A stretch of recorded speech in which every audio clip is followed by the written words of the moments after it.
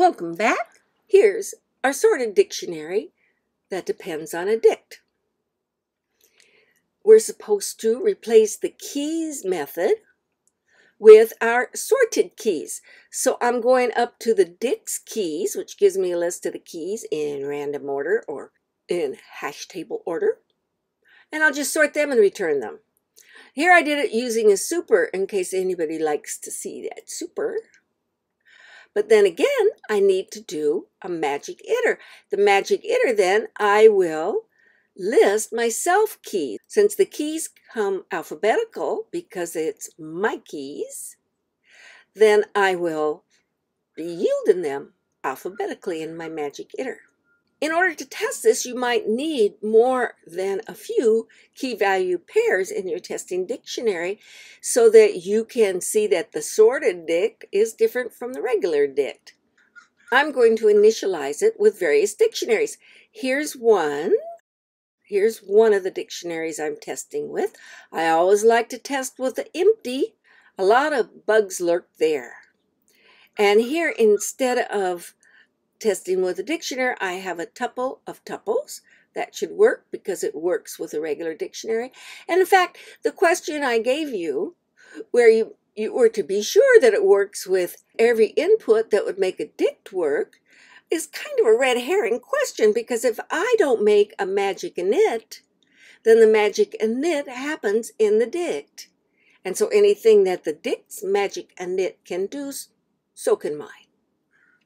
So for each of these initializers, I'll make a regular dict and a sorted dict, and I'm going to report a list of the regular dict's keys and a list of the sorted dict keys. Then I'm going to do a for loop on the sorted dict to make sure that works nicely, that they come out sorted. In my regular dict keys, when I had these false, zero, true, none, it did come out different from how it came out with the sorted dict. Sorted is sorted, so that's good. And the for loop, and that's good. Empty, nothing for that, and that's good. And then here are the other keys. And then here's the, the regular dict keys with all these Christmas things. And when they're sorted, they in fact do come out sorted, and also the for loop is sorted. So we did that. Our last task is to make a game dealer class. The game dealer class instantiates with the number of players and the number of cards. And then we should be able to deal hands. Let's take a look. Here's our game dealer initializer. It has defaulted four players and five cards. And then we're going to store these things and here I am making a list of players. For that many players, I turned it into an int in case somebody gave me a string. And I'm going to instantiate a deck. So we have these two classes to look at, player and deck.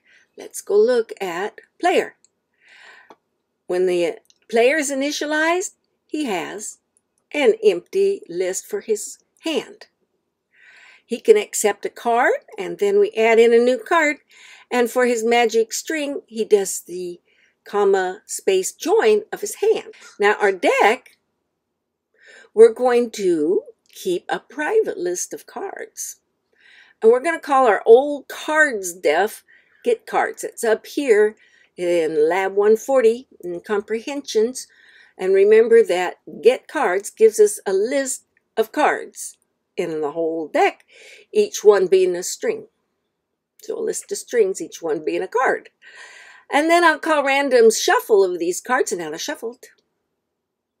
Now this is interesting. If I want to iterate my deck, I'm going to return the deck because I put in the deck a magic next, and therefore I can just pop the cards out. So when I iterate them, they go away.